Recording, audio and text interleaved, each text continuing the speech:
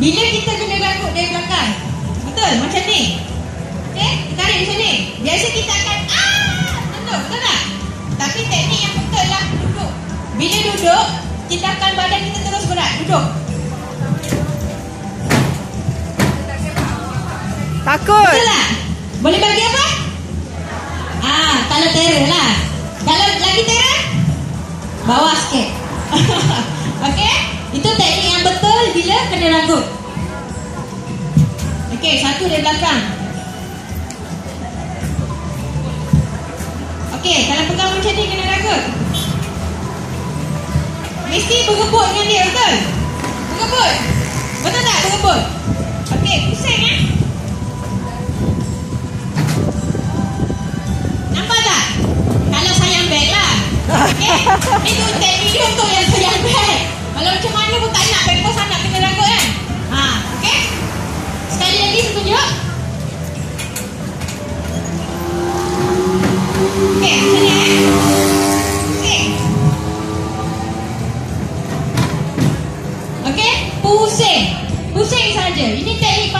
simple.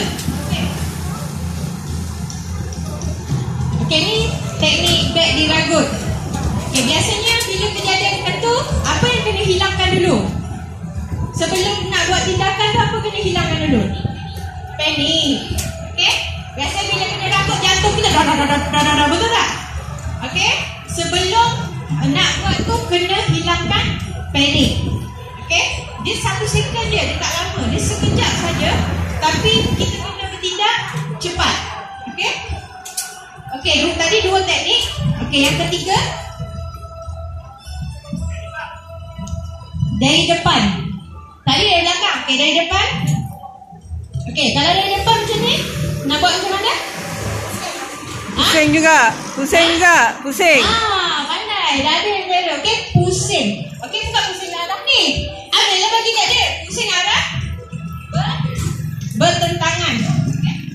Pusing arah bertentangan.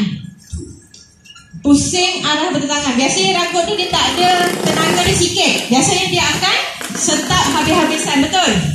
Tapi untuk elakkan kecederaan dan juga untuk elakkan uh, apa uh, kemalangan, pusing arah bertentangan dengan kita punya tali pegangan.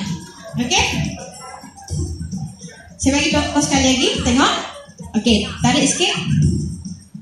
Okey, one. Okey, kalau kalau pandai boleh bagi. Kalau tak pandai jangan bagi. Takut salah, okey? Sekadar untuk selamatkan diri, drop badan. Baring pun tak apa. Drop habis-habisan, balik. Nampak tak? Dia akan akan jatuh sama dengan awak. So, bila kena ragut, jatuhkan badan. Walau macam mana jatuhkan badan. Okey? Itu teknik yang paling betul lah. Alright.